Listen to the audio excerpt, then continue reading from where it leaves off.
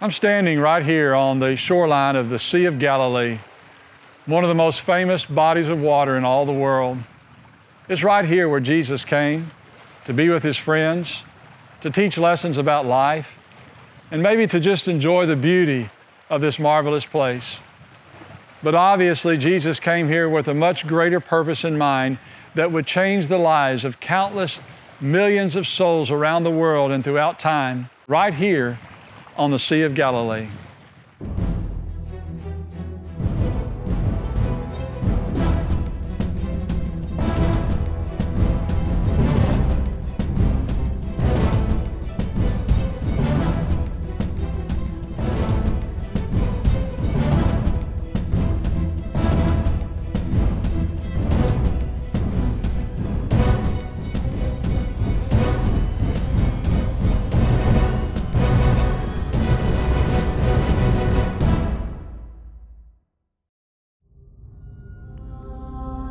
The Sea of Galilee is a beautiful sea that often reflects the golden rays of the early morning sun darting across its calm, colorful waters.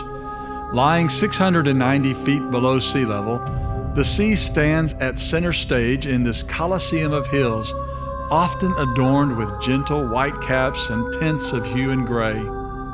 The beauty of this place, however, extends far beyond what we see here today to a time when Jesus of Nazareth graced its beauty in his own way with his powerful lessons and his works of love. The Sea of Galilee is a beautiful sea. Um, it's very difficult in some cases to see all the way across. Um, if you've ever been to Lake Tahoe, I, it reminds me of Lake Tahoe in the sense that it's beautiful crystal water, um, but it's a massive lake. Um, uh, we refer to it as a sea, but it's it's more of a, a really a lake uh, fed by really the the upper Jordan, of course, the waters that that that are that melt from Mount Hermon. Uh, but it's a beautiful place. Located in the Rift Valley between the steep hills of Lower Galilee on the west and the hills of Bashan on the east, the Sea of Galilee has some 33 miles of shoreline and is shaped much like a, a musical lyre. Its waters come from not only the runoff of rainfall in the area, but also from the refreshing waters of the Jordan River to the north and from several springs found around and under the lake. Referred to only four times in the Old Testament, the Sea of Galilee is known as the Sea of Chinnereth, but in the New Testament as either Gennesaret, the Sea of Galilee, Sea of Tiberias, or some 31 times simply as the Sea. This western side of this 13 by 7 and a half mile lake is located on a branch of the International Highway with cities like Magdala, Chinnereth, Capernaum, and Bethsaida lining its path. While each of these cities were important places in the ministry of Jesus, Capernaum was especially important because according to Matthew 4:13, this was the place where Jesus made his home during his public ministry. It was also the administrative center of the region and was an important trade city along the international north south trade route. To this day, the remains of many different millstones and public buildings can be found here, a testimony to the commerce and trade practice at this busy location during New Testament times. Somewhere by this 64 square mile lake and just outside of this important city of Capernaum, Jesus taught other lessons as well, lessons that were not merely heard but witnessed by others through the various miracles he performed. These miracles not only testified to his deity, but gave him opportunity to demonstrate his compassion toward others as well. It was somewhere near Capernaum that he healed a man of the horrible disease of leprosy. The Bible also says that when Jesus was entering into Capernaum, that he was met with a request by a Roman centurion whose servant was grievously sick, and he wanted Jesus to heal him.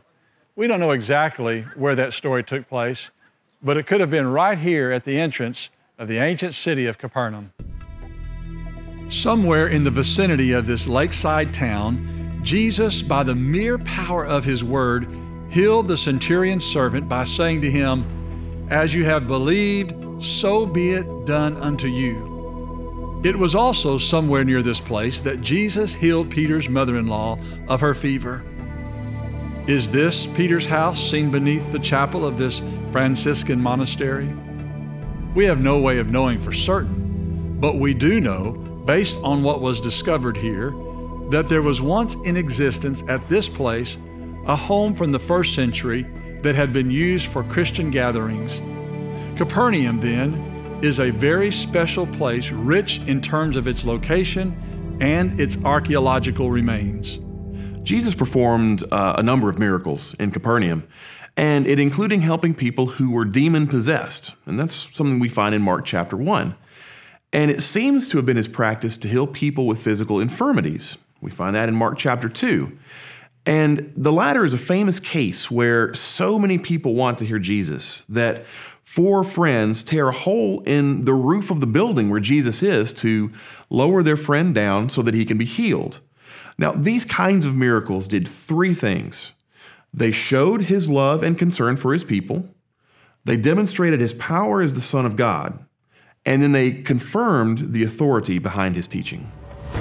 As one makes his or her way through the ancient homes of Capernaum, the remains of a synagogue of the Jews is easily in view. Though not the ruins of the actual synagogue visited by Jesus, it is a synagogue built on top of the foundation that was in existence during the time of Christ. The remains of that first century synagogue can still be seen in the visible basalt foundation, a type of volcanic rock used for building projects during the time of Christ. The present synagogue, built sometime around the 4th century AD, is of great importance because it gives us an excellent idea of the design and layout of an ancient house of worship utilized by the Jews. Its floor plan, though larger in size, is similar to the one recently discovered near modern Migdal and now identified as a first century synagogue in the ancient fishing town of Magdala. Since the Gospel of Matthew records that Jesus went about all Galilee teaching in their synagogues, it is almost certain that Jesus walked in this place and taught from this Torah reading table, now known as the Magdala Stone. The word synagogue basically means a, a, gathering place. They were places where the Jews could gather, study, learn, pray, worship. Certainly by the time of the New Testament, synagogues were found throughout Israel and in various Middle Eastern cities where the Jews resided outside of Palestine. Similar in design to the synagogue built at Chorazin, just a few miles to the north, the synagogue at Capernaum is different with imported white limestone used in its construction and elaborate artwork inscribed on its columns and remains. Notice the vine and fig leaves, geometric designs. A 4th century Aramaic inscription on one of the broken column reads the name of the donor. These names in the Greek form Alphaeus and Zebedee, are mentioned in the New Testament. One of the carvings of a cart may depict a portable Ark of the Covenant. Also, among the decorations is a common geometric design of the ancient world symbolizing fruitfulness. Imagine Jesus coming into the synagogue that once stood in this place. And as he came into this synagogue, healing a man's hand that had been withered, or casting out that demon out of a man who had been tormented by the powers of Satan. Imagine also Jesus telling others about the love of God and preaching to them out of the Torah. Imagine Jesus reminding them that he had not only the power to heal, but also to forgive. Oh, the joy that must have been experienced by those so afflicted by life's sorrows. As I sit in this ancient synagogue, I can't help but reflect upon what it would have been like to be present when Jesus was preaching. How would I have responded? How would I have changed my life to become more like His? While walking along this hallowed ground, I have to wonder what else took place here. Did He perform miracles here other than those specifically mentioned in the Bible? The Bible records nowhere near all of the miracles that Jesus performed. In John 21, he tells us that if all of the miracles of Jesus were written in detail, I suppose the world itself could not contain the books that would be written. Of course, Jesus did many, many miracles that are not recorded in the New Testament, but the ones that are recorded are recorded to create faith, that we can have confidence that Jesus is the Son of God, which is proven by his miracles, and that he can keep the promises that he's made to us. Indeed, Jesus was truly a great miracle worker who came to the synagogue to worship and to read and study the Torah and to minister to others. But his work would also take him into other places outside of this synagogue and out onto the beautiful Sea of Galilee, where his disciples learned some very important lessons and where he performed some amazing miracles. Not only did Jesus perform miracles near the sea, but Jesus also demonstrated his power on the sea. In fact, it was on one occasion while the disciples were struggling to maintain the safety of their boat that Jesus came walking on these waters. The Gospel of Matthew tells us that the disciples of the Lord were in a boat at night headed to the other side when halfway across they encountered heavy winds and high waves. Having gone up to the mountain to pray, Jesus now appeared to them, walking on the water. Frightened by what they were seeing, Jesus said, be of good cheer, it is I. Be not afraid. It was then that Peter asked, Lord, if it's really you, let me come into you. So he allowed him to get out of the boat, but as Peter saw the waves crashing around him, he began to sink. He cried out unto the Lord, and it was then that Jesus said, O ye of little faith, why did you doubt? Imagine Peter walking to Jesus and then feeling himself begin to sink into the 141 feet abyss of the lake. In the midst of his fear, it was then that Jesus rescued him. Of the many miracles that Jesus performed on and around the Sea of Galilee, you see these great stories, these great miracles that demonstrate his power over the known universe. You certainly recall the calming of the storm as the disciples on the boat were in a pure panic, and Jesus, of course, demonstrates his power over nature by calming the seas, of which he was the author. That story may very well have begun here, where thousands could have gathered in this natural made amphitheater known today as the Cove of the Sower. A place that no matter where you may have been seated, you could have easily heard the voice of Jesus as his melodic message was wafted by the breeze from the Sea of Galilee up through this conical shaped area. From there, the Lord and his disciples set sail across the nearly seven mile trip to the region of the Gadarenes. Sailing across the sea could at times be dangerous due to the sudden storms that could arise because of the geographic features inherent in the land. To the north, Rising to the heights of 9,230 feet above sea level lay the great Mount Hermon, whose winds would at times descend from its peak and be forced down into the tunnel like trough of the Jordan Rift Valley. Sometimes the winds would come bursting out upon the water's surface and capture a helpless small fishing vessel in a maelstrom of whitecaps. Fishing vessels used on this lake during the first century were most likely not much longer than this reconstructed fishing boat located near present day En Gev. The boat boarded by Jesus the night of the storm may actually have been similar to a first century boat discovered in 1986 during a severe drought in the mud near the shoreline of the ancient city of Magdala. As the waters receded, parts of this 27 foot long by 7.5 foot wide vessel became visible and was excavated and brought to the Yigal Allon Museum in Ginosar. The Jesus boat has a fascinating story. It was discovered by accident during a drought in 1986 when the water level of the Sea of Galilee receded enough to expose the boat. Now, it's a good first century example of what Jesus and his followers would have used in their travels. Uh, in his writings, Josephus indicates that as many as 15 men could have fit into a boat like this, but it wouldn't have provided much protection during a storm like the ones we read about in the Gospels. Just imagine how they must have felt in such a small boat, struggling to maneuver through the crashing waves, petrified as they watched their boat fill with water and felt themselves beginning to sink into the darkness of the storm. In their desperation, they questioned the Lord's care and concern for them, asking, Master, do you not care that we are perishing? It was, however, in the midst of that furious storm that the disciples, like never before, began to see Jesus as more than just some great teacher. They began to see him as a great miracle worker, as the Son of God. Just hours before, in that same boat, Jesus was teaching them about the importance of having a receptive heart. But now his words taught them that he had power over heaven and earth, and that with his words, he could calm the storms by simply saying, Peace, be still. Following the calming of the storm, the disciples found themselves safely reaching their destination on the other side of the lake, where they were met by an unusual sight a scar ridden, clothes less man who was being tormented by some unclean spirit.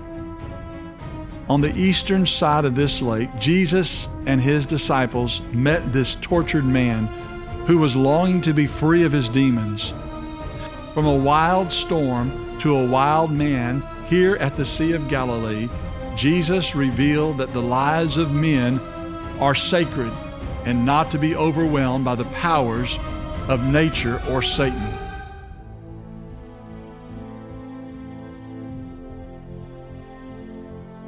Whenever I'm near a lake similar to the Sea of Galilee, I can't help but think about all that it does to sustain the cycle of life, to quench our thirst, to satisfy our hunger, and to lure us with its beauty.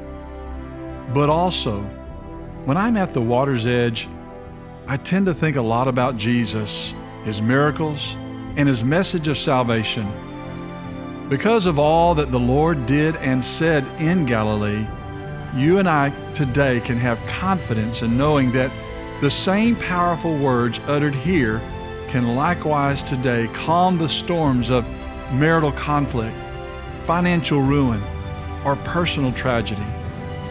Whenever something endangers us, seeks to control us, or threatens to sink our boat, we must learn to rely on Jesus, reach out to Him in faith, and trust in his powerful words. Words, while uttered some 2,000 years ago, are just as powerful today as they were the day he uttered them out on that tumultuous lake in the region of Galilee. But finally, not only did the words of Jesus calm the storm, it also compelled a small band of men to leave their livelihoods and begin a new work of fishing for men. The power of Jesus is seen not only in his ability to calm the storm or to walk on water, but also in the miracle of the catch of fish in Luke chapter 5. And Jesus, right on the edge of the Sea of Galilee, tells them to put out in deep water and to let their nets down. They pulled in a catch of fish so big it started to sink their boats. After this, Jesus says, Come, and I'll make you fishers of men.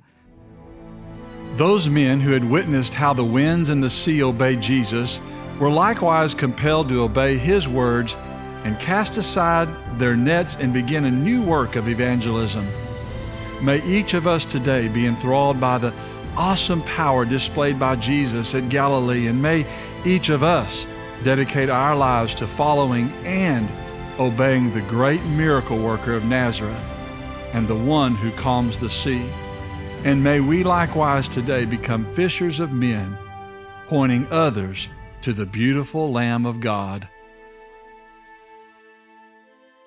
You are the canyon and I am a crevice. You are the heavens and I am. I absolutely love being at the Sea of Galilee. There's a, a natural beauty associated with that place. It sits some 600 feet below sea level, nestled among several graceful hills and unique geographical formations that give it a sort of Colosseum effect. And on the southwestern side, there is this majestic looking escarpment called Mount Arbel that towers above the lake.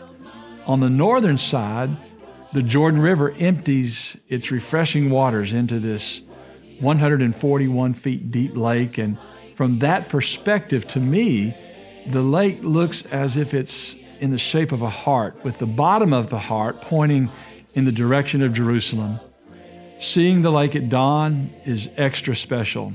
It's so peaceful, so serene, especially when you stand at the water's edge and watch the sun come up over the mountains of Lower Golan and see those golden rays reflected on that beautiful blue water. It's one of God's greatest masterpieces.